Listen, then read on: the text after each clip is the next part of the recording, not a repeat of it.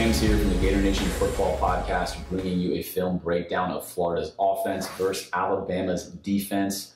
I'm going to bring you even more content on this particular game due to the nature of it. So hopefully you enjoy the extended look at even more plays. As always, if you like this content, subscribe to the channel, follow us on social media, consider giving us a dono on Patreon to support our efforts to bring you this type of content. And last but certainly not least, check out our podcast each and every Monday where we give you in depth analysis on the Florida Gators. And with that, let's dive into the plays. So, right out of the gate, Dan Mullen had a game plan to feature his tight ends. First down, featured a tight end. On second down, you're going to have Kemore Gamble. Down here, and Alabama is predictably playing the defense we thought we would see them play, which we showed on the Bama defensive film review. Florida going to have trips to the right. They're going to have three defenders here, and then of course the conflict defender as a linebacker here, playing run and pass if he wants. This safety can come support or drop back. He can come here. Either way, Florida was successful all day long with their tight ends, and here is a tightly covered pass. Again, we're focusing here. This is a little whip out right there. Nice ball from Emory. On time delivery. Take a look. On time delivery. Reese gets beat.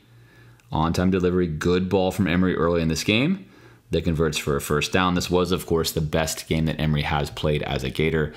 We're going to see just how good it was and if it's going to be repeatable going forward. Although Florida struggled early in this game to score points and were downright awful at times, there were a lot of signs that Florida's offense could be good in this game. You're going to see this as we walk through the game. But with this first down and 10 play, Alabama is telling you right away that they have no respect for Florida's passing game whatsoever. You're going to have Copeland down here running absolutely uncovered and completely wide open off of your screen. All of Bama's defenders are going to be focusing on the run game, with the exception of, of course, the corners locked up here. And even here, take a look at where his eyes are on this snap. Uh, everyone is a run defender. On the bottom of your screen, you can see Copeland just goes right by. This, of course, is a handoff, but you can imagine an RPO situation where Emory pulls this ball back down and throws obviously a very easy go route here over the top. The good news for Florida was, despite the fact that Bama was prepared to stop the run, and that was in fact their game plan, Florida got a huge game from their offensive line, and one of the best offensive linemen of the day was Ethan White, number 77. You'll see him here pulling across the formation, as you're going to see a lot on this film review, getting an absolutely great block right here, which is going to spring Florida and Malik Davis for a nice gain right there uh, on first down if there was one play that really changed the entire direction of this football game, it was a play we have featured two weeks in a row now on this film review. We actually talked about it at length on the USF breakdown, and that is the speed option. I talked about how much I loved that play in NCAA football. It turns out that play was amazing for Florida against Alabama, and we'll show you the reason why. On the film for Bama's defense, as we bring Whittemore across the formation here, we showed you a couple things. One, Bama's always going to start too high, and if you bring a motion receiver over, they're going to rotate their safety down. We know that about how Nick Saban likes to play defense. Secondarily, they often like to crash this really hard, and oftentimes they will bring another linebacker over to fill. Perhaps they'll even bring him here to fill. They'll do a lot of different things to play aggressively on a zone read look. And Florida took advantage of that by running the speed option. Take a look here. If you're running a traditional zone read, you're either going to hand this ball off to your running back or you're going to come out here.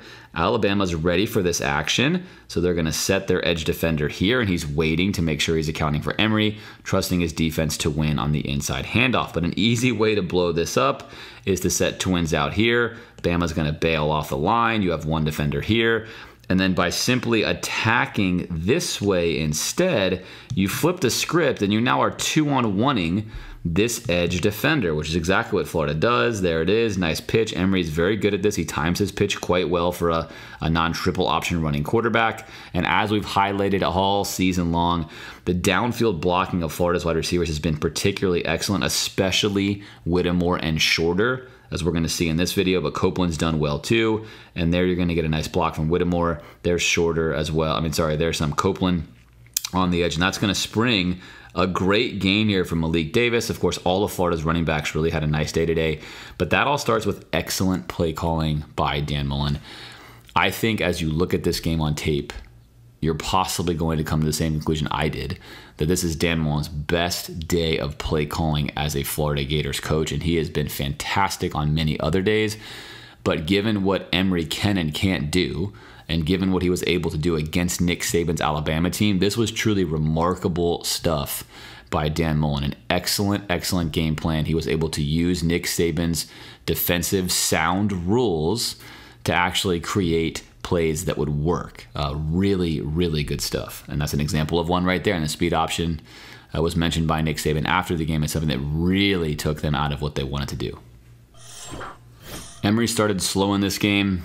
Emory still obviously has serious deficiencies as a quarterback, but really a fantastic job by him to take what he has and make the most of it in a high pressure game that they got you know, Florida was significantly down in, essentially. And so I'm going to make sure that you know that he deserves plenty of credit in this breakdown. And of course, my job on film is to show you the things that any player did well and also the things that they could improve on. So, one thing that Emory still struggles with is really reading the field. In fact, most of these plays you're going to see today are first read throws from Emory when there's an opportunity to have more, it's not quite going to be there. Now, on this one, he's actually going to throw to a second read. He wants to throw a go route here to Copeland. That's where his eyes are going to go. Again, he's too quick with the eyes right here. Shifty eyes, as I've been saying. These should be stickier. He's too quick here. He needs to try to really engage this safety, even though they're in too high. This is going to have to be an earlier throw, but you want to hold this just a little bit longer before you come to this go route. Then check your go route. Now, right now, he's on the go route. He doesn't like the go route. He's just going to come here, despite the fact that he's got a great pocket and he has Whittemore wide open. He's going to elect to throw here. Now, why would he attempt to make this tight throw to Malik Davis? It's basically in his vision window. This is where he's looking. He doesn't like what he sees there. This is a player he sees. The game is I, the game I believe moves pretty quick for Emory in the read department. So things are not going slowly processing wise. He's going to put this ball out there, and it winds up being an incompletion. Of course, this is a nice scheme by Dan Mullen. He totally blows up Alabama's zone. They blow their assignment. This ball goes to Whittemore. He has nothing but space up here for an, a big, big gain on the first drive. Instead, it goes for an incompletion. So, of course, Emory will see this on film. The coaches will show this to him as well. He'll continue to work on trying to become more comfortable uh, making these reads, but he misses one here. Florida had amazing success with chipping and releasing their tight ends. Here is Gamble, and you're going to see him engage this block just for a second. Again, zone read action. That's going to hold everyone up. Take a look at all of Bama's linebackers, even their nickels. They're all coming up. They're expecting runs. the first drive of the game. They do not respect Florida's passing game. You can see behind it, they're only playing Three defenders and a safety. They're selling out to stop the run. So Florida says, We know you're going to do that. Let's chip in here with Gamble and then release. Again, everyone's eyes in the backfield here. Everyone's eyes in the backfield. There it is. And then Emory is able to set the feet here and get this ball out. It's a nice delivery under under pressure. He knows it's going to be under pressure. This play is designed for him to be able to get in there. Timing's got to be just right, and it is. Great execution by Florida here. And then Gamble takes this for a really nice game. Now, all day long, Florida had really good protection. Only a few times are we going to see Florida not protect well. Take a look at this. We're not used to, or I should say, I'm not used to seeing Florida against Alabama be able to hold their own on the front line. And the story of the film is that Florida not only held their own, they actually dominated this game at the line of scrimmage on both sides of the ball, especially on Florida's left side, as we're going to see on this film. But regardless, really nice play again from Dan Mullen, knowing how Bama's going to defend. And not only, of course, on this play do you have a wide open Gamble, you also have Copeland, who's running wide open here on this middle crosser. Florida receivers were open for most of the day. Uh, again, Dan Mullen really just absolutely showing his mastery of coordinating a college football offense. Last year from Kyle Trask, vertical routes, um, you know, a whole different playbook to this year, just really a simplified version, uh, heavy run oriented, but also very creative Very creative. These plays aren't just working because they're basic. A lot of nice pre snap motions and movements that are going to throw the defense off the trail of what's happening, and that makes it easy for Emory to be able to do his job. Florida's already done this once. I'm going to show it to you the second time. Alabama was jumping off sides. They were also false starting, as we're going to see on the defensive breakdown, uh, on the offensive breakdown for Bama, defensive breakdown for Florida. But Florida did a nice job of this. As soon as Bama crossed the neutral zone, they were going to pop up. And I haven't always seen Florida's offensive line be so aggressive with doing this. I think they knew that every yard mattered in this game. Of course, it matters in every game, but it really mattered in this one. Steps across in neutral zone, a quick pop up. Again, this has already happened once. Gouraige got them earlier, and that's going to lead to a first down. So a nice job by Florida's offensive line there. Nick Saban, of course, not thrilled with that. We spent a lot of time last year looking at film review and how Florida was unable to win in the running game, even when they were plus numbers. Teams would load up their defensive backfields to stop Kyle Trask's passing attack, and they would be seven on six, sometimes seven on five, and they couldn't run the ball well. In this case, we have even numbers. Florida's going to have two, four, six, and then seven versus Bama's seven. Bama's electing to play with no safety here. Again, they're expecting Florida to run. It's first drive of the game. They don't think Emory can pass. And what Florida was able to do here again was a was a signal for the rest of the game. Take a look at Emory Jones, not touched until he's four yards down the field. Delance is going to fall down here. This little kind of he's trying to he's trying to obviously go low and get a cut block, but that doesn't work perfectly, but it works effectively. On the left side of the line, you can see already, take a look at our left tackle here. Again, Gouraige had a sensational game. He's going to get a block, help block here with Ethan White, go to the next level and lock up there. Take a look at this. I mean, look at what we have here. Look at this. This is absolute domination against an Alabama team that is not used to getting dominated. Look at the push, clearing out. Again, they are expecting run there. It's seven on seven. It's hat on hat football and Florida has a significant gain on first down. So, right from the beginning, it was evident that Florida was winning at the line of scrimmage. It's now third and six. One of the ways you can tell how coaches feel about their quarterbacks is what kind of routes their receivers are running. Florida's going to get a decoy route here, really just a nothing a nothing route to keep this player down. They're actually trying to hit this wheel route from Nay'Quan. Then they're going to get two clear out routes here and then an underneath from Shorter, which is where the ball's actually going to go from Emory. This is covered well by Bama, uh, Bama across the board. We'll start at the top of your screen here and take a look here. Emory's going to go there right away. That's covered. That's good defense. Nowhere to go there. He's then going to come down to Shorter, which is what he's looking at now. He actually throws a nice, this is a nice ball here. There's not a window. Shorter does have embodied. There's not a whole lot that can be done uh, there. You'd like to see this ball be a little bit lower. Uh, of course, if we're looking for perfection, bring this ball down here a little bit lower, a little bit more in front. This is good coverage, though, by Bama, and ultimately an incompletion for Florida. Uh, but a simple route package for Emory. Again, most importantly, something we saw go on throughout the game. Let's look at the front four here. Bama's going to bring four, and look at the pocket that Emory Jones has. Look at this. Again, we saw all last year what Kyle Trask faced relentless pressure. Even Delance here holding up. In fact, Delance had a pretty good game, especially by Delance's standards in this game. But that's excellent work by the offensive line, giving Emory Jones all kinds of time. Uh, obviously, as the season goes on, if Emory continues to be Dan's favorite guy, uh, I would certainly hope that there's going to be better and more complicated route combinations. That's going to be entirely dependent upon Emory Jones, which, again, so far, there hasn't been a lot of indication that he's able to read the field to where you could put in a lot of those combinations. So keeping it simple where he will not turn the ball over is what you're more likely to see if Florida maintains this number one rushing attack they have. I think you'll continue to see that, especially against Florida's weaker opponents on the schedule. We highlighted Will Anderson on our Bama breakdown. He was an absolute menace all day long. If you're watching this game either in the swamp or on television, you watched our breakdown, you already knew this. Uh, he was wreaking havoc. Take a look at the play he's going to make here. Come in, hold the edge on the zone read. Here's a block. He's going to hold the edge like he should, gets off the block, and then makes the tackle. Again, you're going to see him just wherever 31 is, pay attention to what's happening. He's a very, very smart football player. Not only is he skilled, very smart. Doesn't go for the fake, does his job, kicks outside, makes the tackle. Nice play by Will Anderson. Of course, Florida was not always successful with their zone reads. This is an example where Emory should have handed the football off, which is why I'm actually showing it to you. Is right here on the zone read. Emory is a very, very good zone read quarterback. He is stopping and setting the edge. This ball's got to go to Nay'Quan. That's the place it's got to go. Again, this is probably not going to go for much, but that's where it's got to go. If it does get handed off, you know, this linebacker is going to have to make a tackle here. Uh, but regardless, Emory and the read you have on this zone read, right? Pretty basic. You're going to read this edge defender. If he comes in hard here and crashes down, Emory keeps it. If not, this has got to get handed off. This ball should have been handed off. It wasn't. And Will Anderson Jr. makes a nice play.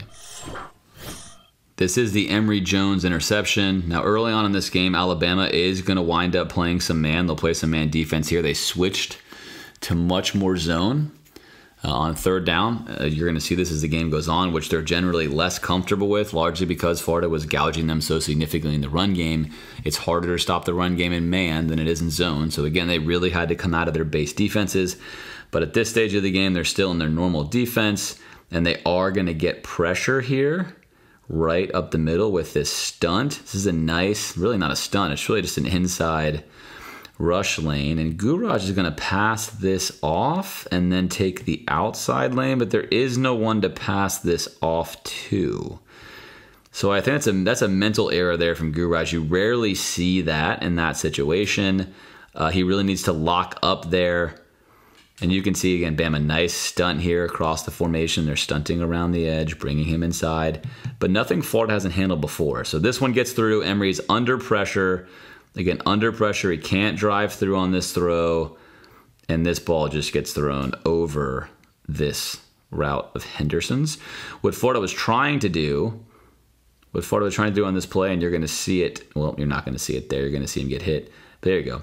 Florida here on the all 22, as we can see, they're actually again. This is really just a one, really a one option route. It's going to be a deep comeback. Take a look here. There it is, and he's coming back, and he is open. Take a look. He turns open to the inside here very nicely. If this is protected and Emory delivers a good ball, that's going to be a completion for a first down, and it's another simple route for Emory. He's going here the whole way. We know this because he really just looks at the safety. Take a look at his eyes. He's going to look at the safety, and then he's going to come right down to his first read. Again, he's early on all of these. This, in my opinion, is too early. Take a look at how long it takes before he gets rid of this ball and he has pressure. I can guarantee you he wouldn't have gotten rid of it right then either, except he feels the pressure. It's a little early. It's earlier than he even wants. Uh, regardless, the pressure does cause that interception. I think if you're Dan Mullen, you're not as frustrated about this Emory pick as you've been about other ones because there is somebody right in his face. He is throwing to the right guy. Uh, unfortunately, he throws it way off the mark because of the pressure, and that winds up being a pick for Alabama. Florida going to go back to the speed option well right here, and this is going to be nice work by Delance. So if you want the speed option to work, again, here's your edge defender in this situation, right? Three down linemen. They're really in the tight. This is the tight front we talked about. Take a look here. This is your tight front. Playing the run, making sure they're going to stop the interior run in the zone read. And these are going to be your edge defenders on both sides. So they're set up to stop Florida running the ball on second and five. Alabama expects a run. And Dan Mullen says you can expect a run, but do you expect this play design? This is where the creativity comes in. Florida is going to engage their defensive end in the tight front. Again, something we mentioned. How would Dan attack this? Well, this is a great way to attack. Let's use a guard to take out the defensive end.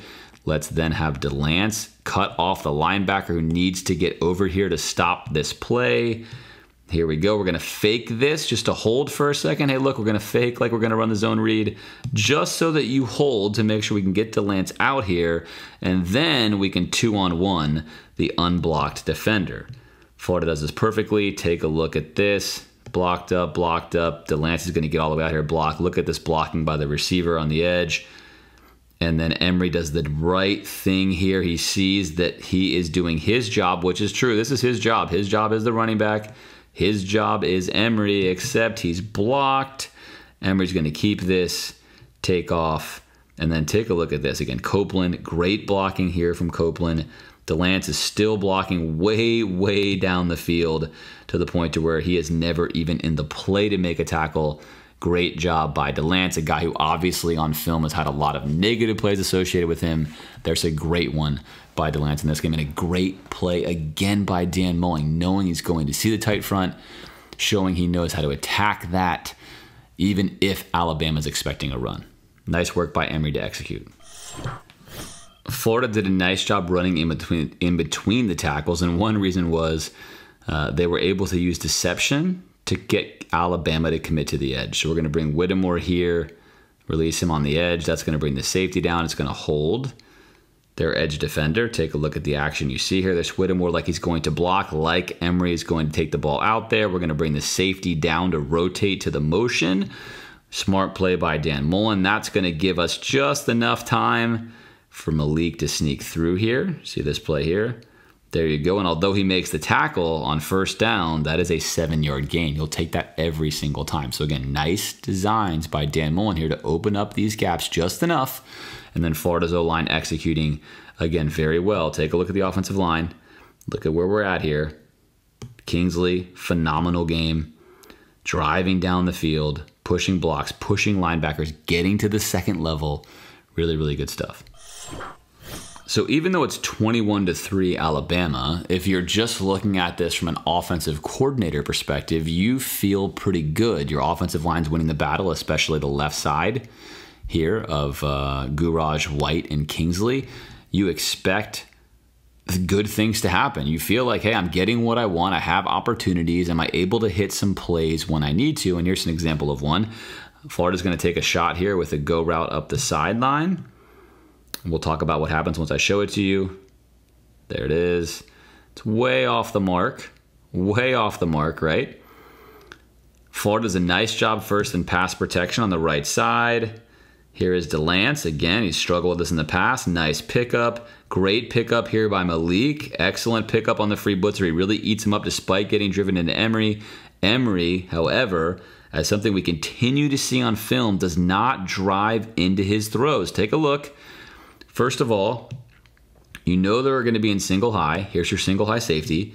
He's going to make no effort to even look at the safety. Now look, if you're in the NFL, this safety is going here, and he's gonna he's gonna be able to help on any kind of bad throw you make. Of course, Emory knows the safety can't get there, but I'd like to see him first put his eyes here, then come to this route. Secondarily, as his back foot hits the ground, he knows this is going to be a quick throw. He's waiting for his right moment. And once again, take a look. He's leaning back and look at how he finishes. He frequently finishes backwards. You want to see him drive this right foot down into this throw, forward towards the throw. You shouldn't be seeing his helmet consistently leaning back in that direction. He does this frequently, and that's what's pulling these throws off target. That ball's nowhere nowhere near where it needs to be. And there's a simple fix to this, of course, which is to drive through your throw uh, not fade away and not finish. You got to finish that throw. That's off the mark. Uh, nice drive down the field by Florida, though this is going to pay dividends later, mainly via penalty. Uh, but the fact that Florida was willing to do it was showing Alabama they would challenge them at all levels of the field. They were successful just enough, again, primarily through penalties, to keep Alabama honest in that regard. Third and four, this is one of the nicer plays I've seen Emory put on film. He's going to check up here at the top to see what his matchup looks like there. Again, does he give that a long enough time to see if it's there? I don't know, but he's looking there really quickly. Uh, I think all along he knows he wants to come to Whittemore. If you ask me, I think this is just looking to look. But what he does here is actually very, very nice. There's going to be a little, just watch close. I'm going to slow mo this for you little pump fake, and then the completion. Now, why does this matter? This is one of the things in the game live you may or may not notice, especially if you're in the stadium. But let's watch one more time, see if you can pick it up. Little pump fake, and then look at this. Let's now focus right here. Little pump fake. Bingo. He actually clears himself a throwing window he is spying Emory's eyes. If Emory just stares down Whittemore and throws this ball on a line, there's a good chance this ball gets batted down. He gives a little pump fake here, just a little bit, just open up just a bit. That's going to get him going this direction, clears a throwing lane, and then converts a nice first down for Florida on third and four. Emory actually had some really good third down throws. In fact, in the high leverage situations, he tended to be at his best in this game. That was one reason why Florida was able to score 29 points.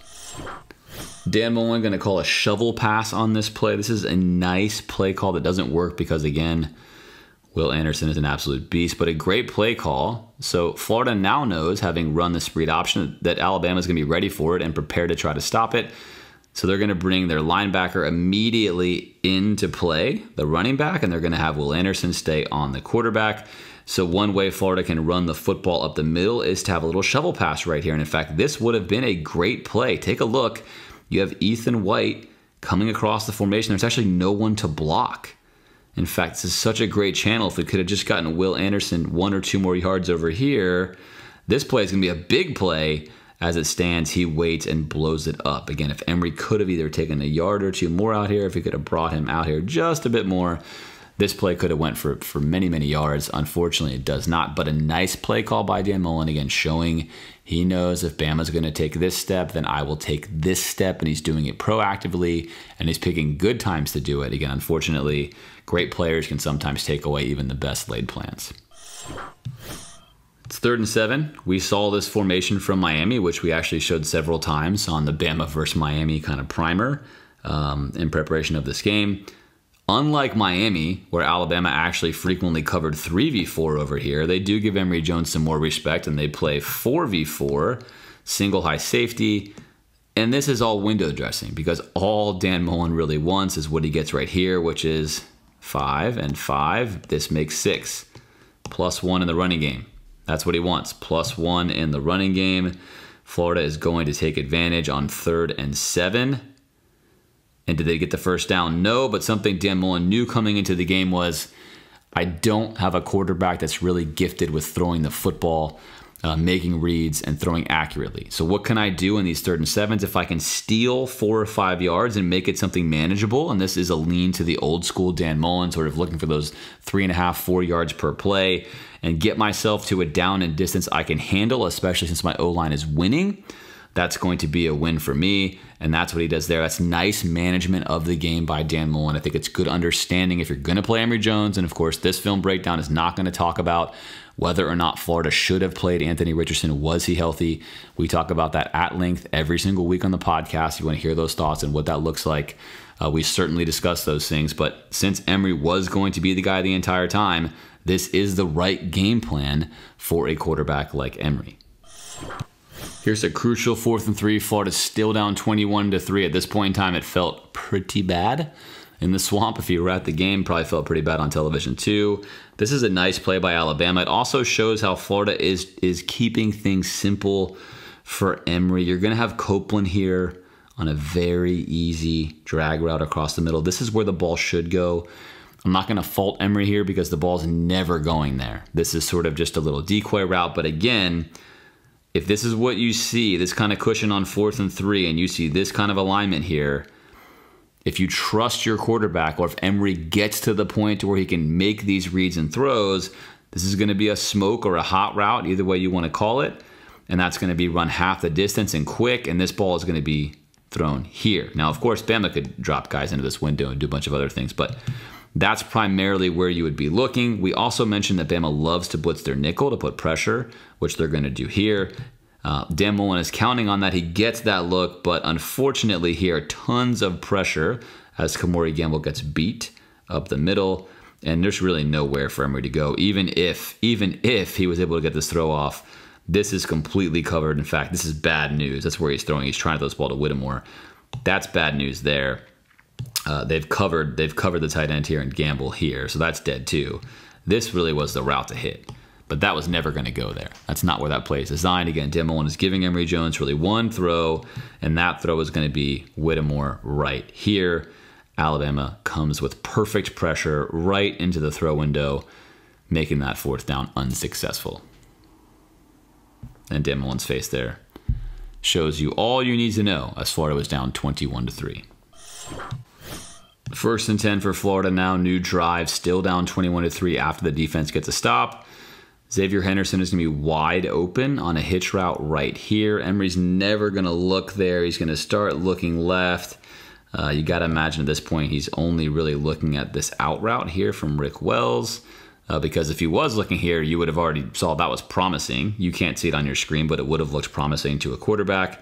He's looking at Rick Wells, and he's going to come across here to a vertical route he has up top that you can't see. He's got Pierce as a check down, who he could dump the ball down to.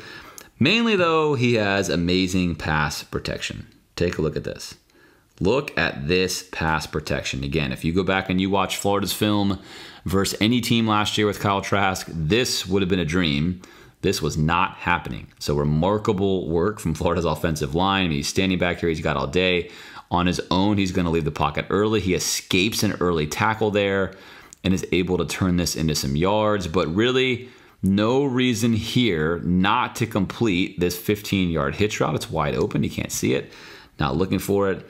Uh, instead, escapes the pocket and goes ahead and gains some yards. Of course, this is college football. Again, you know, I don't want to drive too hard into Emory. Um, his skill set is not going to be a pure passer. How Florida uses him is the right way to utilize him. But, you know, on film, when you're looking, you can see that there are opportunities for him to further increase his ability as a passer, uh, to put it as kindly as possible. Second quarter now, Emory Jones's numbers, of course, as you see here, not pretty in the early going of this game, but something he was doing really well was running the football and running the speed option. And you're going to see Alabama now make the adjustment. They've been burned by this twice already. And here is the adjustment. We're still going to have the edge defender protect the zone read from Emory, but we're going to make sure our linebacker does not get trapped. There it is. Gouraige can't even get to him. As soon as he thinks this is going to wind up being a speed option. He is out of there. He's going to beat Gouraige to the spot, which is what he does, and then he's going to make this play on the boundary on Pierce. Nice tackle on third and three, a nice stop by Alabama, showing recognition that if you want to run the speed option, we're going to stop it. And then this is where Dan Mullen is going to begin to use some of the adjustments Alabama had to make to stop that speed option against them. Another three and out from Florida's defense. Florida gets the ball back. It's now second down. And one thing Alabama was not going to be beat by was the running back wheel. But Florida used this play to its advantage. Obviously, it toasted Georgia last time around. Nick Saban had a feeling that maybe with Emory Jones, this would be a simple concept for him to execute, and Florida used it really well. I think they wanted to go to it maybe only a couple of times, but they primarily used it to create plays like this one. Here's Nay'Quan, he's going to come out, but take a look here at Zipper. He's going to be underneath blocking for a long time before he releases. Now we get the linebacker coming out to make sure I am not going to get beat on this wheel route. I've seen this on CBS before, but nobody is going to cover. Here we go. Take a look, zipper. And again, nice job by Emory Jones here. This is nice by him. He's looking right now at the wheel route, and then he's going to come down right at the last second and throw this ball to zipper. There it is. Nobody is anywhere near him for a huge, huge gain from Florida. And let's take a look one more time how well this works. This is a long developing play. Here we are. He's going to engage this block for quite some time. Slip out. No one's paying attention. Corner blitz does not get there in time. Emory hangs in there, gets this ball right on the money to Zipper, which allows Florida to have a big gain. Sometimes when you run a play, people just are not open. That's the case here. Again, amazing pass protection from Florida. Delance gets hurt, and you have Tarquin come in. I thought Tarquin did really well and probably earned himself some more snaps in this game than what he got. You're going to see him one on one versus Bama's best pass rusher. There's Will Anderson. He's going to handle himself well accordingly. And I mean, look at this pocket. This is amazing. I cannot celebrate this enough. Gouraige has been absolutely fantastic at left tackle. Uh, at left guard, White has been revelation, and at center, Kingsley's been fantastic. Again, these three have been exemplary, but you have gotten good play out of the right side as well. And together, those five are becoming, I think, potentially the best line in the SEC right now, at least by performance. There's a whole season left to go, but shocking uh, results for all five of those. But again, really here, given what Florida's offensive line has been like, was a big question mark coming into the year course, we had high hopes that this combination here would work really well. We talked about it a lot last year. That winds up being true, but this was, again, really, you can't say enough good things about the performance. Now, at this point in time, Emory's going to sling this ball to a place that should not be slung.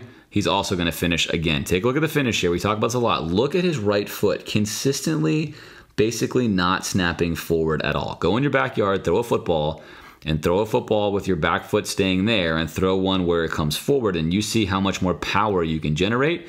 He's absolutely under no duress. He has no pressure and he's also making the wrong choice, as you can see right here. Here is Nay'Quan. He is open. He is your check down. If you don't like anything, you got to go to your check down, give him a chance, and in fact, he's going to have a nice gain there on first down. Instead, it's an incompletion. Second and 10 now. Amazing pass protection is about to happen here again, and we're going to wind up missing this throw to shorter. Let's start first by looking at this pass protection. Again, there's Will Anderson. He's going to go on the ground and then eventually get pancaked there by Kingsley, gone. Gouraige got him. Tarquin passed off. Will Anderson now is here. That's a heck of a pocket. That's what you like to see. And then here's Shorter, who is, as you can see, wide open. Emory is uh, going to miss this ball far out to the wide side here. Again, very simple throw, clean pocket, no one in your face. This is the dream situation right here as a quarterback. You rarely get this just not on the mark. This obviously is the bad side of Emory's quarterbacking. Again, as, as the game went on, he did certainly have some really nice plays. But this is just who I think Emory's going to be as a quarterback because the technical skills aren't there. There'll be highs, there'll be lows, there'll be lots of inconsistency. Uh, but Dan Mullen obviously proved in this game that he knows how to run plays to put Emory in successful situations. There will be questions asked of how long can you keep that going during a season?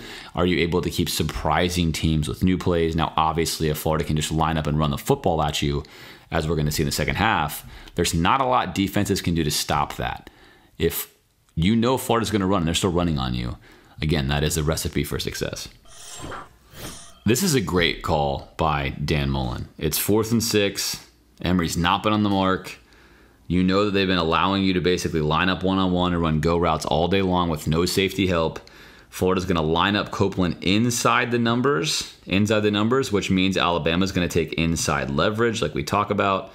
I'm sorry, outside leverage here, rather, not inside, outside leverage to funnel to the safety, which is the right technique. And then Florida's going to just basically run outside of this on a go route to give Emory the maximum window for this throw on fourth down and six, and there it is. Again, the safety's all the way down in here playing run or any little dig or drag, playing the running back coming out of the backfield, not playing anything deep, and Emory's going to throw this ball again, still leaning back off his back foot. It's not a good throw, but this is where bad passes really help you. This is not a purposeful back shoulder throw. This is not supposed to be a comeback. This is where a bad throw winds up getting a pass interference call. And why does it? because this is actually perfect coverage. If you look right here on this part of your screen, the ball is now being underthrown. Again, not on purpose. He's on top of this route. This route is absolutely dead.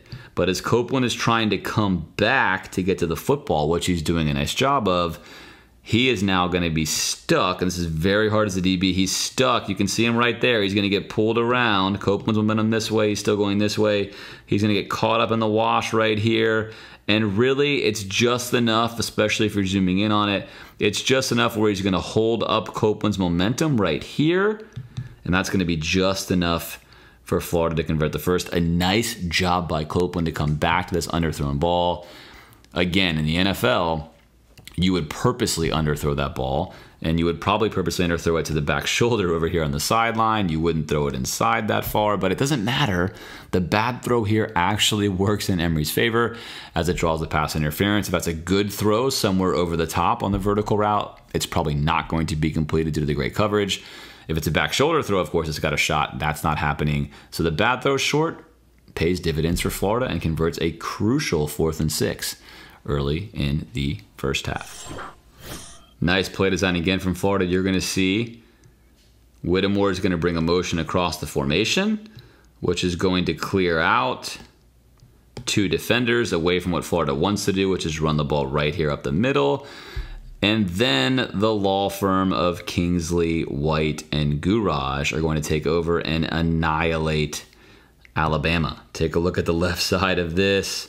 That is beautiful. When was the last time, as a Gators fan, you have seen this kind of hole against this kind of opposition? That is a dream. It's a dream. Fantastic work. And again, great play design because take a look at what happened here. Just that simple Whittemore motion and the threat of Emory being able to run out this side with a block from Whittemore has overshifted the entire Bama defense, and that's going to allow this interior run right here. There goes Malik, makes a move on the safety, and finishes this. A great finish. It was great to see Florida's running backs getting a chance to shine, and you can allow your running backs to shine if you can get them to the second level. Second level, of course, is going to get them to the safety, get them to an unblocked linebacker, and that's successful there. And again, this is just fantastic. I mean, look, look right here. Look at two of the partners of the law firm. Right? There's Kingsley, there's White. Just pancaking. I mean, just this this is this is watch this all day long. Look at this. One more time. Just get on the ground. Get out of the play. Gone. Touchdown. Power football. Florida outpowering Alabama, the more physical team on the day for sure. And I loved it perhaps one of the plays of the game, or not perhaps, but definitely is this extra point. You would not have known it at the time, but if you tend to miss extra points, it tends to be a bad omen. And we can see what happens here by watching the hold. Let's take a close look at the hold, make sure this is good. Here it is. Snap looks good, hold is down. Ball is rotated and sitting perfectly. That is a good hold. And we're going to miss this kick. Why? because of what you see right here. Body motions leaning this way. For those of you that played soccer, you'll be familiar with this. Uh, this plant foot should have been a little more upright, body pressure a little more upright, leaning away. And if you lean away, you tend to push the ball this way. And there it is. Take a look at the momentum. It pulls him across. There it goes. And look at the finish. He's way over here, body finishing this way. He knows it's not good and a miss wide right. Hold was good, snap was good, laces were out. Unfortunately, a missed extra point that hurt bad. Emory now starting to pick up his game at second. Uh, sorry, it's 21 9 at second and six for Florida. Rick Wells is going to put a really nice move here. The linebacker, there it is. Just a little stutter move to the middle. Emory's going to find him and throw a nice catchable ball that's going to allow Rick Wells to gain a bunch of extra yards. So a nice completion by Emory Jones there, on time throw, easy throw over the middle. Again, take a look here. Florida actually is going to go five receivers here. Not something you see often with Emery. Five receivers running routes. And in reality, if you watch all these routes, you're going to get a hitch route here. You're going to get again these are all routes that could be thrown right? But emory knows where he's going the whole time. This is the matchup. Florida spreading them out knowing they won this matchup and rick wells is going to win. Ball thrown on time. Easy completion good first down. Nice use of five receivers there uh, from florida again showing we're not just going to run the ball with the zone read we're not going to speed option we're not going to wind up running a shovel pass or we're not going to wind up you know doing this that or the other we're going to be multiple we're going to attack you from a variety of different looks, sometimes with five receivers, sometimes with two, uh, but really going to make you defend the entire field, even if, again, even if we're limited throwing the football. So just really mastery, great mastery here. So for all that mastery, you're watching the game, and right now you're thinking it's 21 9, doesn't feel that great. That's true. You still have to score enough points to win a football game. But as you've seen in this first half, despite how ugly it was, despite how things were pretty poor, uh, there were a lot of really positive things that displayed themselves in the second half, and that's what that's why watching film is so useful. Was it a fluke? Uh, was the O line dominating? What was causing this? Of course, you've already seen some of these answers. And then sometimes you actually have a really good play call on second and 19, but again, one player makes a really nice play. Florida's going to try to run a screen here. This is good coaching. We've talked about this before with edge defenders.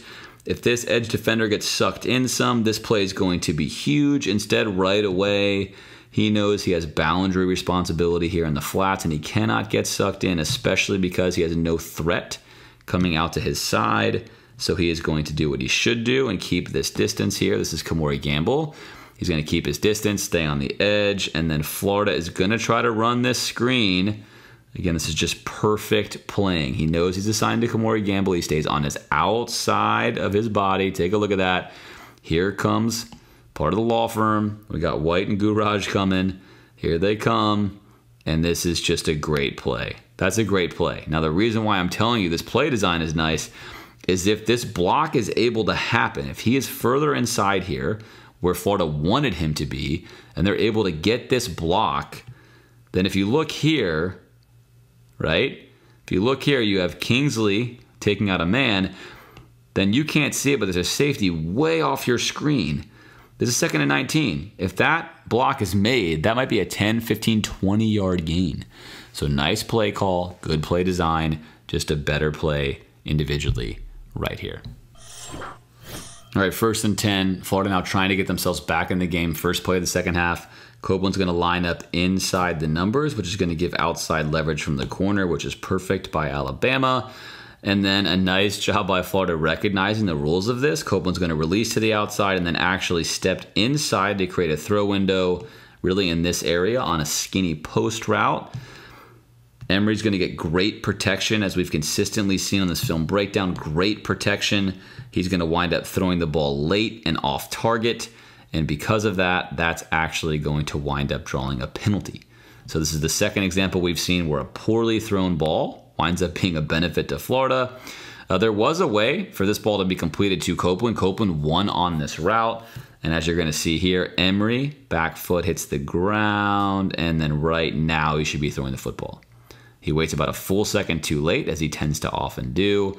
This ball is not going to get there, but because he makes a bad pass, it becomes a first down. You can see it when CBS zooms in right here perfectly.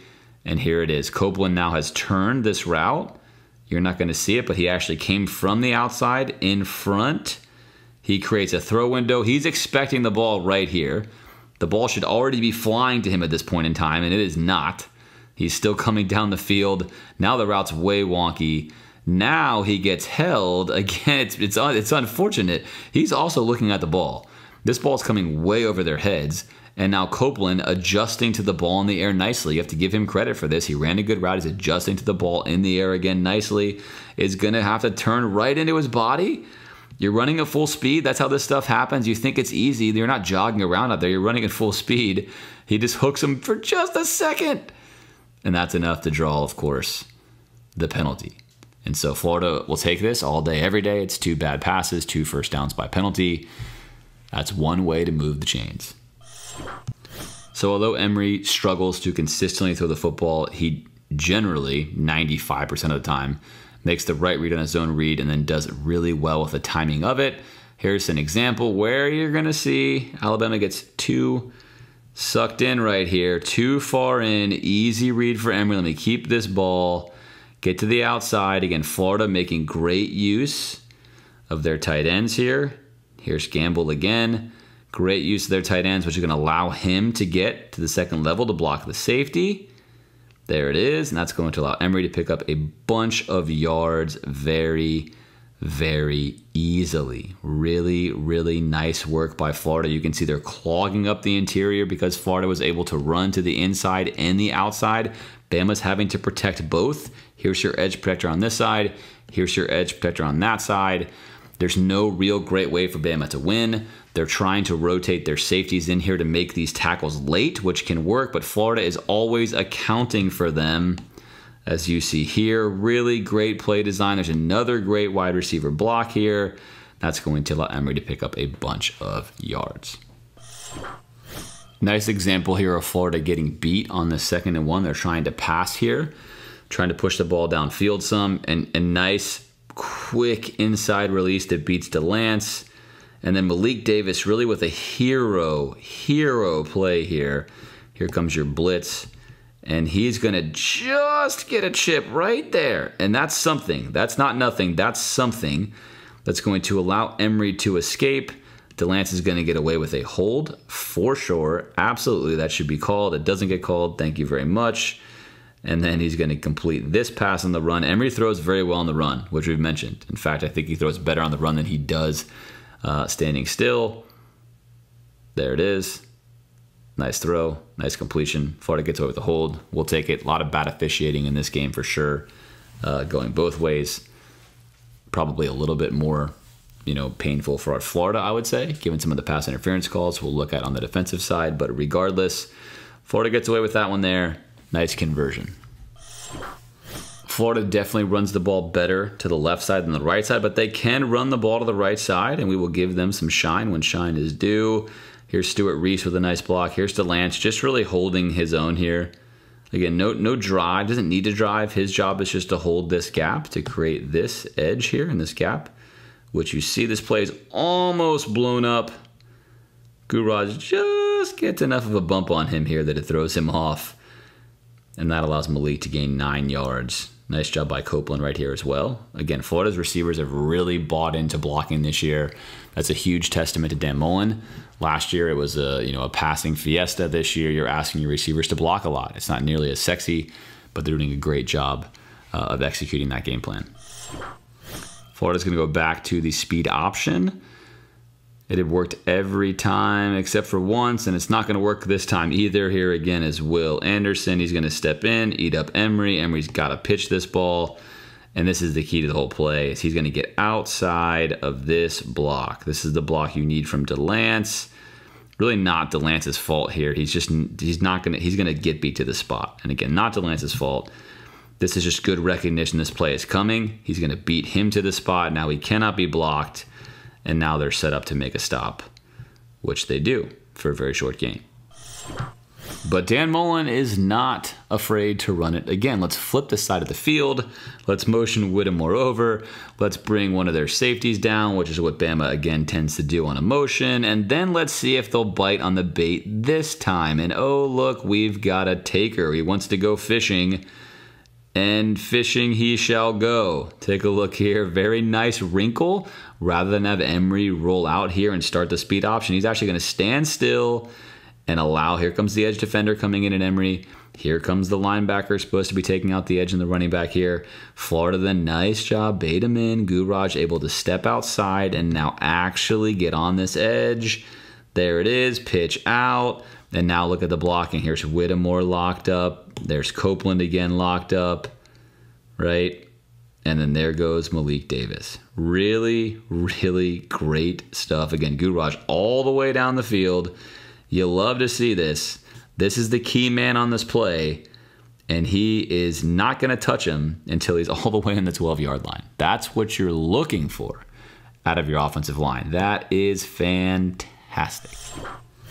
It's no secret that these film reviews love Pierce, and that's because the film loves Pierce because Pierce breaks a ton of tackles. In fact, Florida's running backs are all having really solid years and are all solid on film. Uh, but Pierce really, really breaks tackles. This is third and four. Uh, Florida down 21 9. Crucial situation. Bama is all over this play. Rather than run the speed option to this side like they have been doing, they try to bring him around here Again, a different look of the speed option, and Bama is all over it. Why? Because we have to deal with Will Anderson again. This dude is a monster. He's going to blow this play up from the start. Reese can't handle him. He blows right past Reese. And now we're in trouble because Reese was supposed to not allow that to happen so that Delance could then again block our key man here, and then we'd be in business. Instead, we're not in business. Emory does a nice job just to get this ball out, and now it's Pierce versus everyone puts a move on, gets by one, puts a move on by two, drives the legs, and really a great job to make this a fourth and very short by Pierce. That is a heroic effort on this play. Fourth and one, a lot of good stuff on this one play. You can see that the effect of Dan Mullen's running offense and having a running quarterback. Alabama has to play three on three out here. Again, Emory is capable, of course, of making especially a basic little screen pass here and they are going to load the box up here and expect run. And Florida is still going to be able to run even numbers versus Alabama, even if this exchange is wonky. Again, here, Emory should just be handing this off immediately. I mean, he has there's no business in him keeping this. The reason he's thinking about keeping it is because he's getting a jailbreak here. We talked about this on film that Bama likes to jailbreak this route, but this is what they do. When they jailbreak it, they have help behind it. Here's your help behind it. Anytime you're going to see a hard crash from Bama, it's really bait to get you to go the way they want you to go, which is right here. Emory does make the right decision, although it's a little wonky. Pierce does wind up with this ball, And then Pierce finishes this run all the way into the end zone. Again, Pierce really, really great at finishing these runs. And some good blocks here on the side. Gouraige fighting hard, the law firm fighting hard, creating this lane, and a nice run by Pierce. Great touchdown by Florida on fourth down and one. It's great, just great, great, great to see Florida able to be the more physical, dominant line of scrimmage team in this game. It's first and 10 for Florida from the one yard line because Florida has dropped the kickoff and did not pick it up and let it roll to the one. So we will see if we will see Weston. That's right, we will see if we will see. That's great English there. Uh, Weston on special teams handling kickoff returns anymore if he stays in the doghouse for a while after that one. This so far is going to be the drive of the year for Florida. It might potentially remain that way unless Florida is able to actually win something and hang a banner because going 99 yards on Alabama at any given time is a great achievement, especially when it starts off with a play that doesn't work. So Florida thinks, you know what, we haven't quite got this wheel route to a running back yet, but we're still going to try because we are wheel route you. And Bama says, oh, no, no, no, no, that's never happening. We're always making sure we're paying attention to your running back, and we are not going to let that happen, especially when it's Nay'Quan Wright who tore up Georgia on this route. And Florida wants that. So it's a flow to the right, throw back to the left to Nay'Quan, and they're like, no, we're good. Again, you can't really see this guy, but trust me, he's there.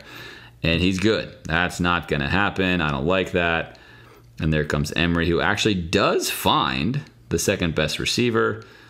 Second best receiver in this case is Zipper. Zipper is just running a simple little dig, uh, dig here. He does find him, gets a little pressure in his face from the right side here. Reese gets beat on this, and he does find the right guy, just doesn't quite get the ball there. It's second down from the one. Dan Mullen seemed to know what Nick Saban was going to be running on defense. It was kind of eerie. So right now you're going to catch Bama in something they really didn't do very often in this game, and that was bail. He's going to bail here to, to be a deep third defender. Watch him. And Florida's going to run a hitch, which is perfect. That's the exact play. There's no read here. He's just going to run this hitch. So Dan, again, high degree of confidence with this look. This is what you're going to get. And he gets it. Here it is. One more time case you're wondering, they're really covering the heck out of this wheel route. so there's the wheel route again. Hitch on the backside. Emory Jones here. Plenty of time to make this throw. And yet again, he does not finish his throw. Take a look at his right foot. Just hanging around back there. And this ball bounces before it gets to Rick Wells. This is only a five yard pass, 10 total air yards to get there from where Emory is standing. Ball gets bounced. So now it's second and 10, now third and 10 on the one yard line. Florida down 28 16. Feels like this could be the beginning of the end, perhaps. But instead of the beginning of the end, Alabama, a team we mentioned, had their weakness in their secondary, although their front seven really struggled with Florida's offensive line, which was a fantastic result for Florida. Obviously, a surprise in many ways. Uh, their secondary is mainly, to a certain degree, the more untested part of their unit. And this is something that I'm sure is going to drive Nick Saban crazy, but it winds up being a fortunate result for Florida. Florida going five wide, something we chronicled so often last year on film reviews. Of course, I love this formation with the good trigger man at quarterback, and it's going to work out here for Florida. They're going to run a very, very simple route combo. They're going to run off here. They're going to have Nay'Quan over here. And all that's supposed to happen, and you're going to see this here, is he's going to bail deep and soak up whatever vertical route comes his way, and then signal under, under, under to the inside defender, the slot defender, who's supposed to come and step up and take this route here in the flat. So you'll see him call this. Watch, take a look right here. He's pointing under, under, under. He's watching the release of the number one receiver, number one receiver because he's on the outside. This is the number two receiver, and that tells this defender to come down immediately and take this route away, and then he is going to take this one away. Instead, what happens is we get a back pedal, back pedal. Take a look here. Back pedal, back pedal, back pedal, back pedal. We're too late now. He should already be right here. He's too late. We've seen Florida do this on defense a bunch in their own right. And now because he's too late, and then because Emory throws a bad pass, I mean, I'm only laughing because this has worked in his favor almost all game.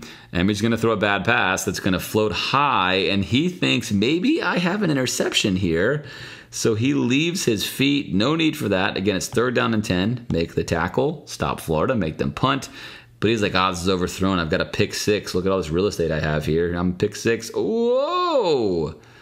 First down and more for Florida.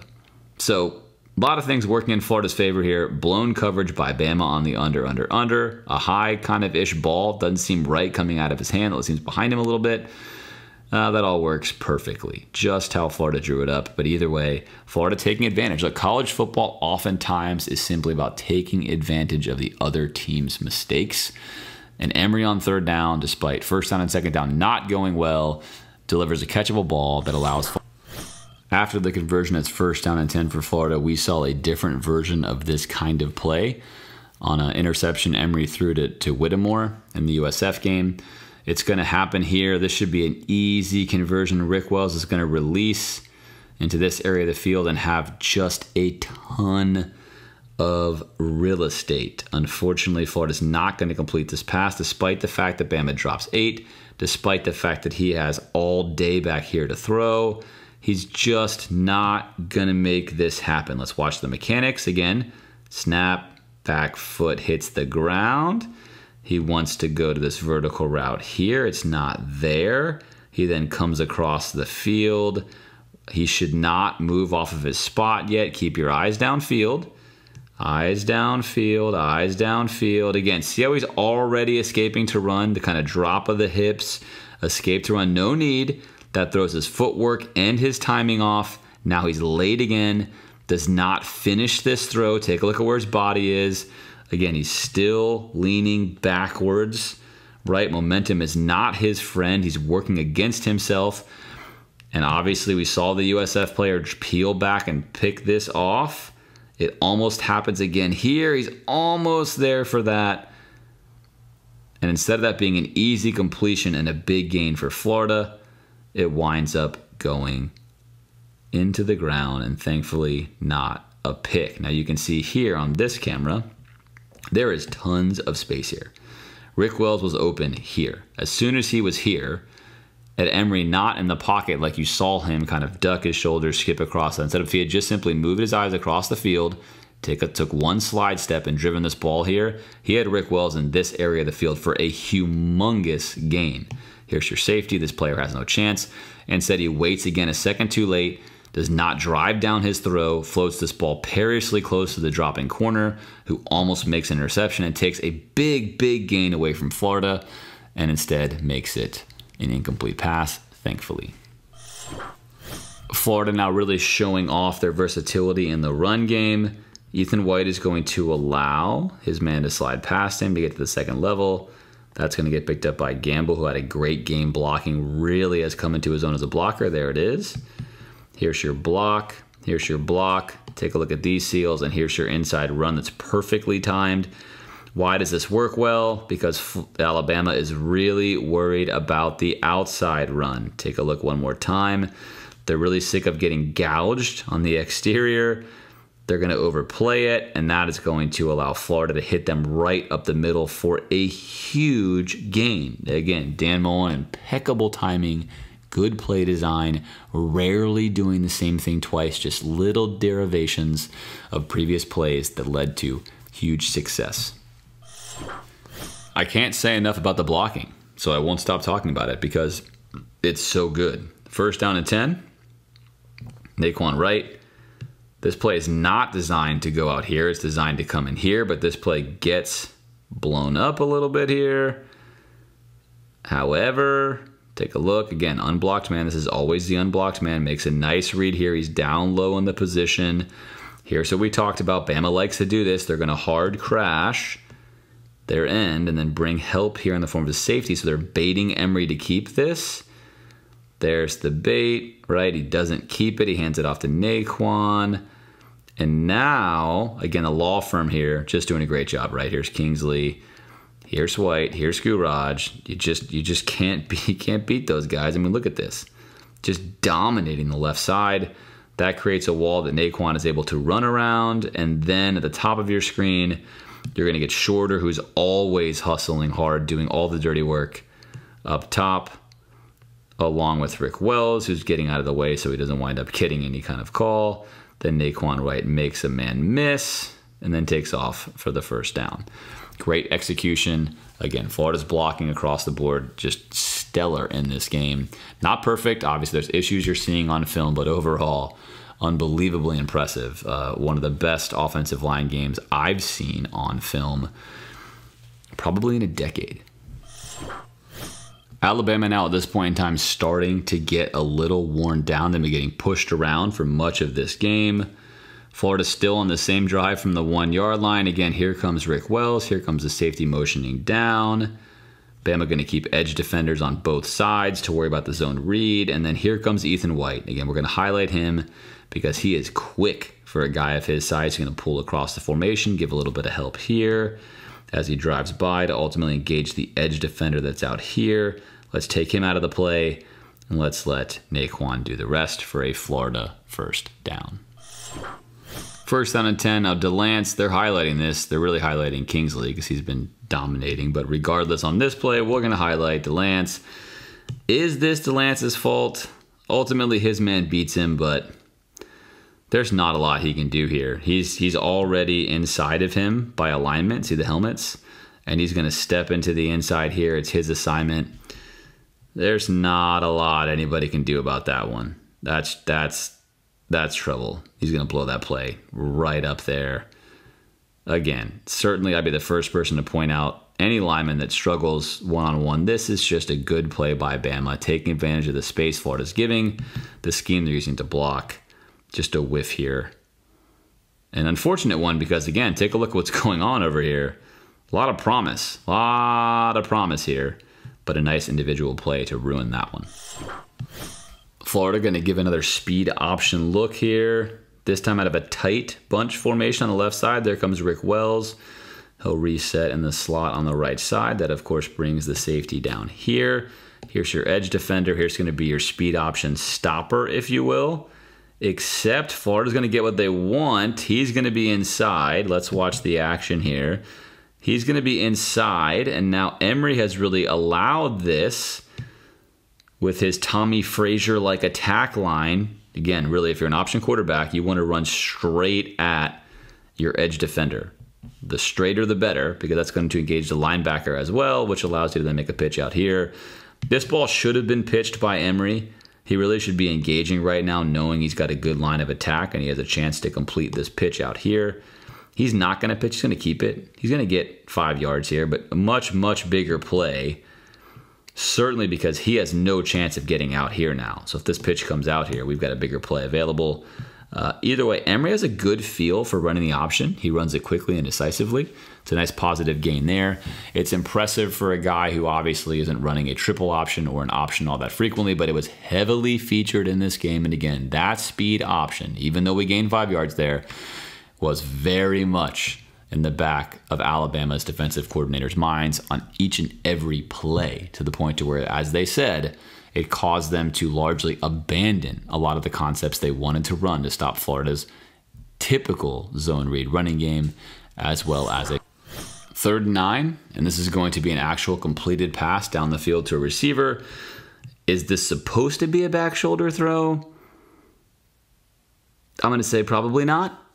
But again, you can always adjust these on the fly. Like typically, if you're going to wind up running a go route and the receiver feels like you know he's got top control, he's or he's being top controlled in the situation, he's going to look back for the ball. The quarterback can throw this wherever he wants. He can throw this obviously vertically. He can throw this back shoulder. Emory throws so many of these balls from the right hash or middle part of the field when he's throwing across this way behind and out of bounds, as we saw earlier. I happen to think this just works out, but you know what? It doesn't matter. Let's assume that he did it on purpose. We'll give him the benefit of the doubt. Uh, this ball gets completed on third down and nine, a huge conversion. Emory stays hot in high leverage situations. Alabama, in this situation, again, still not playing their traditional defense, although they're going to play man. They're really worried about the run. They're playing much softer in a lot of regards. They're not up here jamming at the front of the line. They're trying to make sure they have as many defenders as possible with eyeballs into the backfield. And that allows a very simple one on one play where Emory knows the safety's not going to harass that. He's not going to get there. Emory does look at the safety. Take a look, looks at the safety. Again, a little bit longer would be better, Emory you know, not so quick, not so shifty. Just take just a little bit longer than this and then come to your guy. You can see how he's still always waiting. Perfect timing is look at him, look at him, look at him, look at him. Back foot, it's the ground. Now throw. Uh, regardless, great catch by Xzavier Henderson. Good body control. Great first down by Florida. And here we are again with what I'm referring to as the Miami play. Of course, it's not the Miami play. Plenty of teams run something like this, but this is a running formation to be sure. You're spreading the field out five wide, but you're forcing Alabama to have to cover all these guys. It's frustrating for defensive coordinators because they know you want to run the ball, but if you do take one of these guys and you put him in here, is Florida or any team capable of running a four on three on the outside? Yeah, they should be. You can just run a little bubble screen here and block, block, block, and you're in. So you have to honor this. So here they are honoring this, honoring it here. And now what are we going on here? Two, four, five, right? Two, four, six. So we're six on six. Six on six. Hat on hat football. This is something Florida has not typically won in many years. We're going to run by the law firm because the law firm knows what's up, and we're going to score a touchdown. And take a look at this. This is just hat on hat football. Gouraige takes care of his man. Here's your double. Look at this excellent double by Kingsley and White creating the hole. Emory keeps the feet going and scores a touchdown. That is just big time football from Florida. Excellent execution, basic, simple play, and that is one of the best advantages of having a great offensive line is it allows you to run simple plays and gain predictable yardage because you're winning the battle at the line of scrimmage. Florida now within striking distance for the first time since the opening kickoff. Really, it's 31 23. Whittemore again going to come across the motion, come across in motion, going to bring the safety down, and then Florida's going to run a very simple play. Take a look here. Bama has to honor every little zone read handoff, which is going to leave a sneaky Diggy chip and release there from Zipper. Will Anderson falls down. Bama is ready for this, by the way. Zipper is just going to slide into this little window. Emory's going to make a nice throw here and a nice turn outside for the first down by Zipper. One more time. There comes Emory. Again, he does not set the feet. I think he throws better on the run, so fine. Typically in this kind of play, you want to fake this handoff. You want to roll. You want to set your feet right here. Stop, set your feet, drive down, make a throw. But in this case with Emory, we're not going to wind up reinventing the wheel as a redshirt junior. We're just going to take what he does and live with it. And that is a nice completion, a nice play design, another example of what we saw in the very first drive of the game the tight ends uh, sneaking out after blocking a little chip and release. Now, I say this on each and every film, re- film review that I do.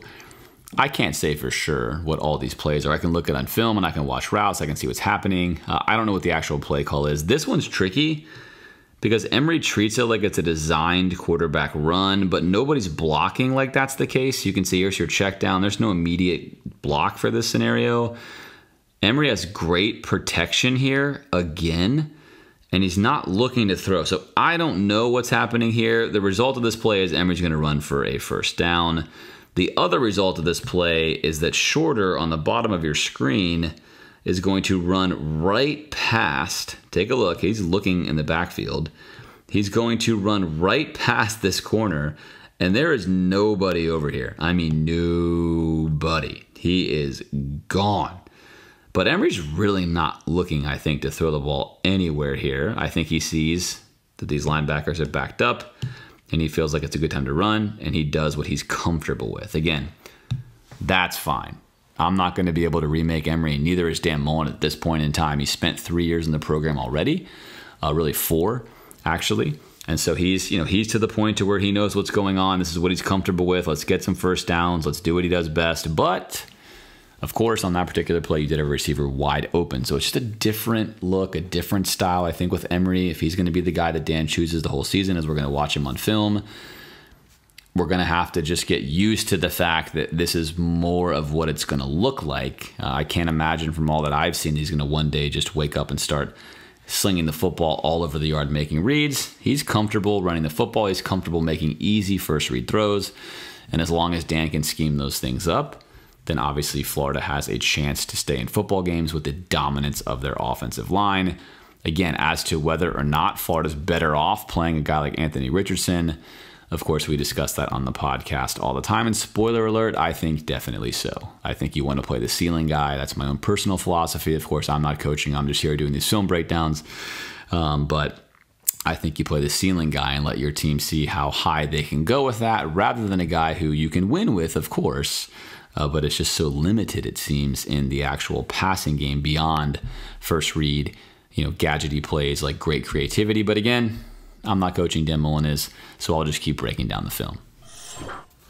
Florida down 31 23. Emory's going to try to keep this ball. It's already tucked away. He wants it back. He wants it back because he sees Alabama crash hard down here on the running back, and he wants it back, but he's not going to get it back as Will Anderson's there, and it's going to be a fumble. And thankfully, Florida's going to fall on it. That could have been a disaster in the middle of the fourth quarter. Uh, obviously, there's a fine line between holding onto the ball just enough time to make this read and then trying to get it back too late. Once it gets to be this late, you just got to live with that decision, and Florida gets away with that one. Third and 19, this is going to be a, a really important completion by Emory here. And Florida's going to get a look from Bama that they wouldn't often give other teams. Bama will drop eight, Bama will play zone. But in this situation, Bama again wants as many defenders with eyes on Emory as possible, which would not be not be how they would typically play this with just a throwing quarterback. And because of that, Florida's actually going to go against a very vanilla cover two static defense. Now, part of this is because they feel like, hey, we don't have to worry about Emory. We don't have to disguise our defenses as much. But you've got Dan Mullen calling plays, and Dan Mullen's basically calling a play that says, Hey, Emory, take the snap and look at Whittemore just running the zone beater, cover two beater. The weak spot in the cover two is going to be right here in between these safeties in the middle of the field. They're not even going to take a Tampa 2 look where you would have a dropper get into that area. They're just going to play an old school static cover 2 all you have to do to beat that is run this route right here. Again, Dan Mullen goes five wide. He has a great feel for this part of the game. Florida's going to get just enough protection here. And it's a nice job by Emory with by design an unblocked edge here. There goes Will. He's going to slide to the more dangerous, more dangerous, more direct rusher there. Good job by Gouraige. Emory's going to set up. Again, they're expecting this. Notice how he drops back to this part of the field this is the play the entire time. Set the feet, hit this throw. Of course, if this is a better throw, it's a first down, it's possibly even a touchdown. But again, in this situation with Emory, I think you're taking completions where you get them. He's under a little bit of duress here. Gets this ball off. Good first read. Great play call by Dan Mullen. Can't say enough about the fact that he's consistently scheming up first read throws in these situations. Pretty remarkable stuff. Now, almost immediately after that completion, Florida's going to run tempo on this fourth and two, which is another master stroke by Dan Mullen. Bama clearly expecting run. Take a look at this. They have everyone in here on this fourth and two. Pass it if you want, run any vertical route you want if you want. We are not going to let you run the ball. And Florida says, we'll keep it simple. We'll pass it, but really with an extended handoff. Let's just get a quick little flat out from Whittemore. And the reason this works is Bama. Take a look at the spacing here. They're not quite sure. Who am I looking at? Who am I covering? There's a little hesitation here because of the tempo. He's just a little slow to get there. And look at that. That extra extra tempo there that Florida had probably gave them the indecisive quarter second, half second they needed to convert that fourth down. Ladies and gentlemen, I give you Ethan White.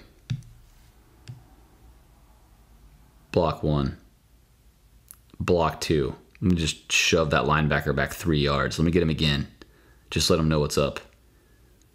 Take a look here one more time. All right, here we go. Ready? A little bit of help there with his buddy Kingsley and the firm. Okay, I'm good. Kingsley, you got this. Let me just chuck this linebacker back three yards. Let me just chuck him back again because he's not worthy.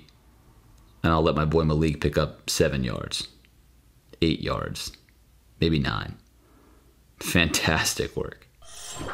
Dan Mullen, just really, this film is a masterclass of offensive coordinating. It's such simple stuff, but it's so effective and so timely. He's doing everything at the right time.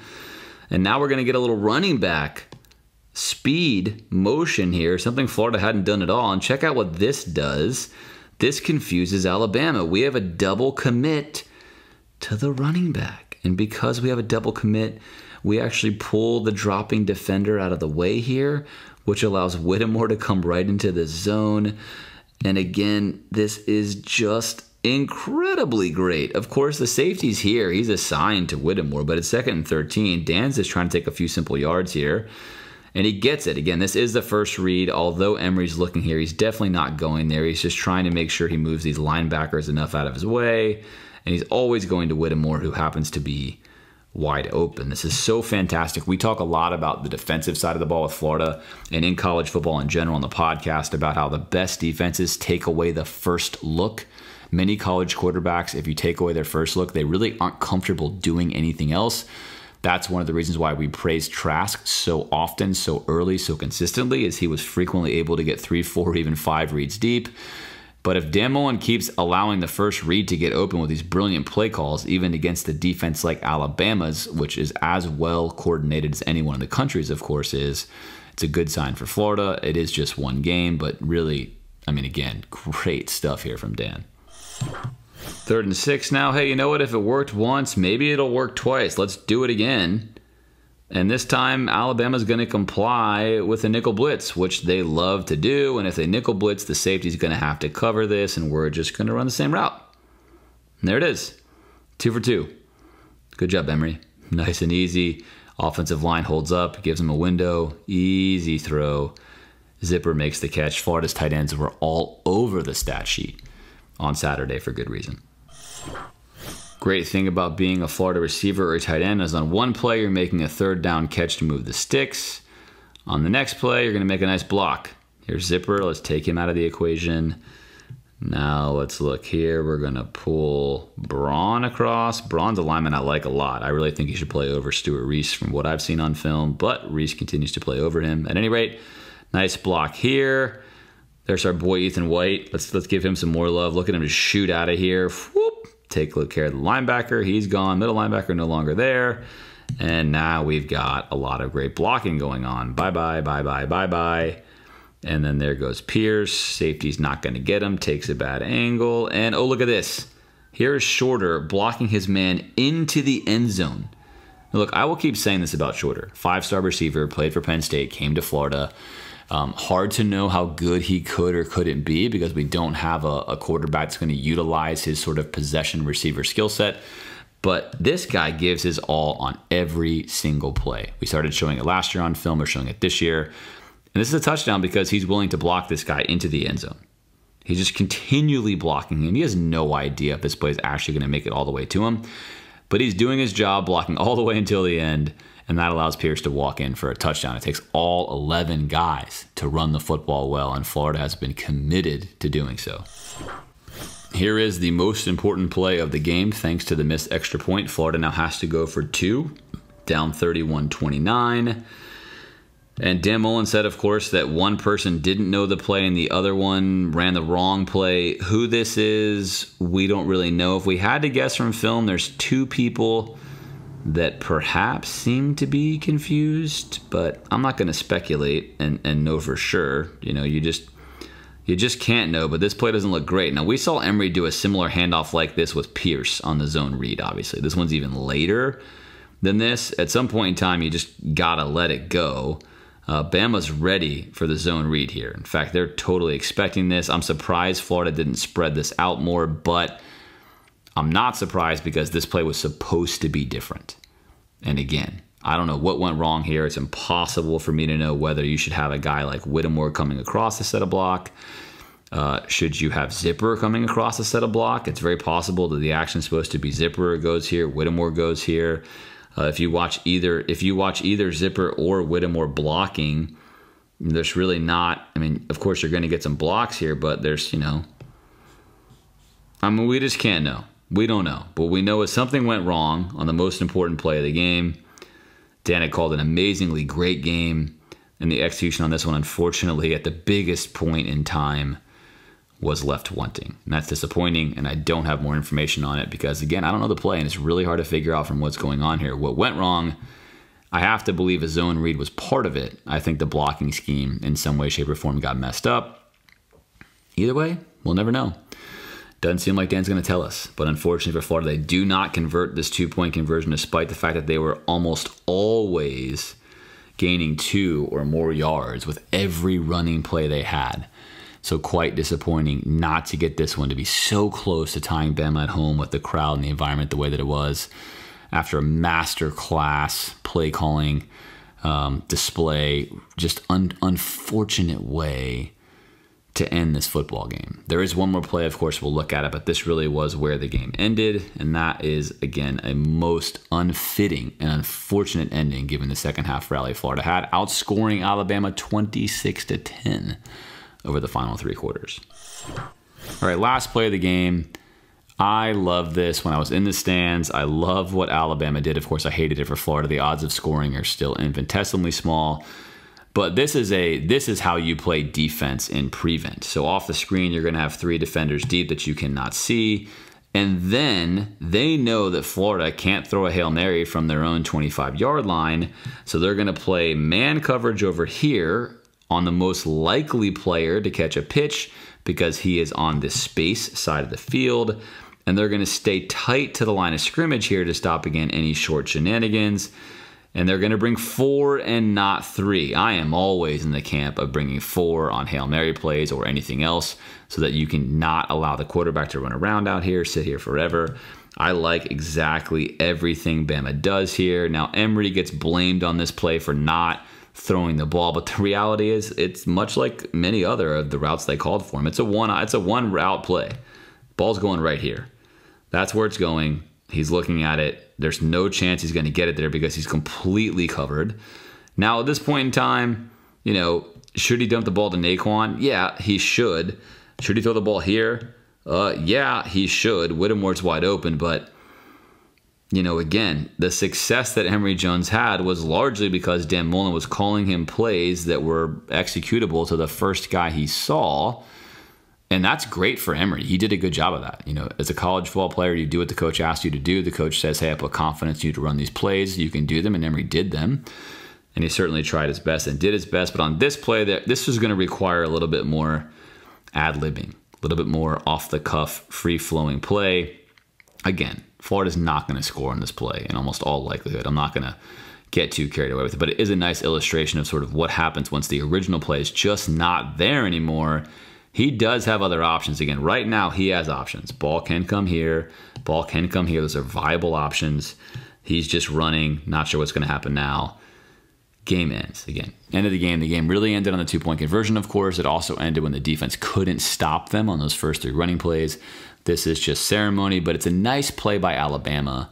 Uh, scheme wise, to not even allow Florida to hit the initial play they wanted, which is a fitting ending for the segment. I think Florida had a lot of success in this game because Dan Mullen did a phenomenal job drawing up again those first read plays. The first look for Emory was often there. And that is amazing work by him, given that Alabama knew Florida wasn't really comfortable throwing the ball down the field, making complicated throws, or even using complicated route combinations. And yet, Dan Mullen was still able to score 29 points on them. Again, really remarkable stuff. That's going to do it for the offensive film breakdown against Alabama. As always, thank you for watching. Please subscribe to the channel. Check out the podcast each and every Monday. And I am James from the Gator Nation Football Podcast, and I will see you next time.